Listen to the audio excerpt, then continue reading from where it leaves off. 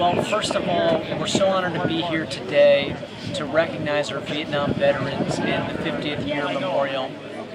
We have many Borinqueneers who served throughout World War One and Two, and in the Korean War, and then as the unit got desegregated, they still served with valor as individuals in the Vietnam War. We were honored to be able to pass a law just recently signed into law that will rename our post office in Kissimmee after the Borinqueneers, the Fighting 65th Infantry, and we're so honored for their service.